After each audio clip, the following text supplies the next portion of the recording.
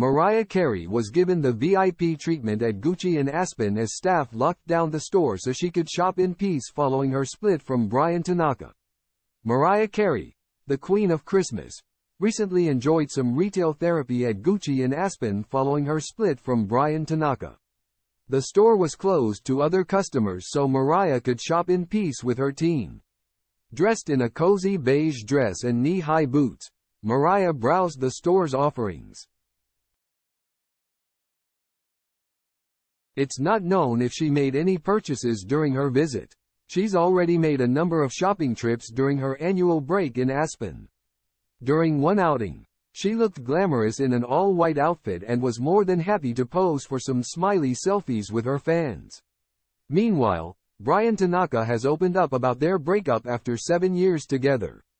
In an Instagram post, he said the decision to part ways was mutual and that he will always cherish their shared memories and artistic collaborations.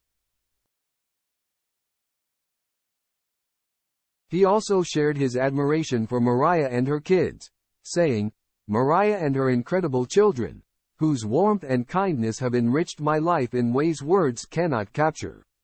Mariah's ex ended his message by asking for privacy and expressing gratitude for the support he's received.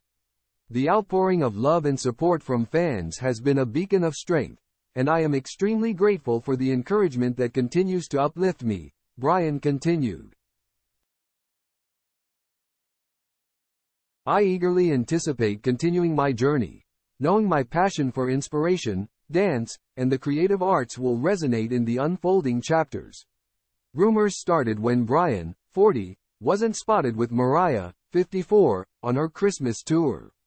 Mariah already has twins with her ex-husband, Nick Cannon. Bryan met Mariah in 2006 as a backup dancer and they started dating in 2016. They had a brief breakup in 2017 but got back together later.